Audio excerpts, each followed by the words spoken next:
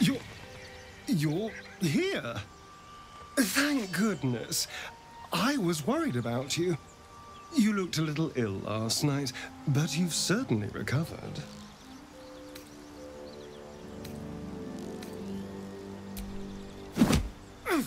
God damn it! I understand you're upset, but let's not get carried away. Thank goodness for that. And I do apologize for last night. I may have gotten a little, um, overexcited. What do you say? Can we let bygones be bygones?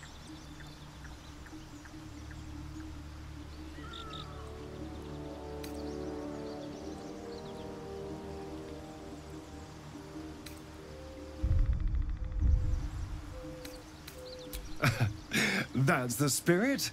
A team once again. Now, was there anything else? Why do you insist on exhuming the past? I was a slave. A vampire spawn. Kept by the Szarr family. Perhaps I still am. I was never able to resist their commands. But now, I've been conveniently lost. They won't ever control me again.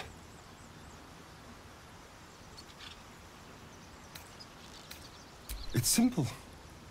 Just find a vampire that will drink your blood and turn you into a vampire spawn. Their obedient puppet. In theory, the next step is to drink their blood.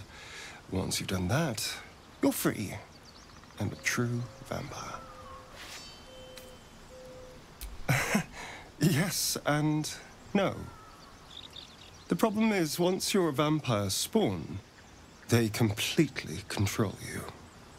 They have to allow you to bite them. And why would they do that? Vampires are power-hungry creatures. They won't lose a servant to create a competitor.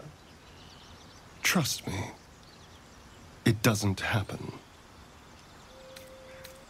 I've already apologized. What more do you want? Unless you're looking for another nibble.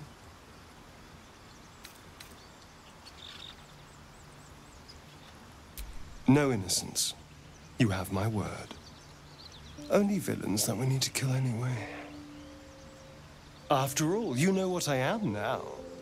I can fight with all my weapons, teeth included.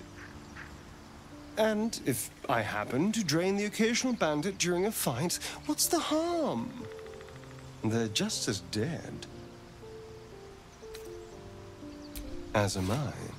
I'm starting to feel a little peckish already.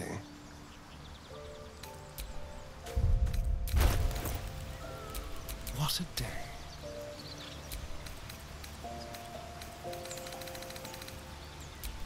What's next?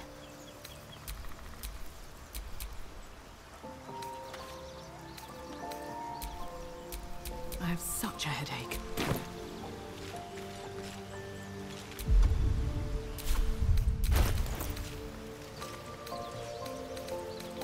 Death's close at hand.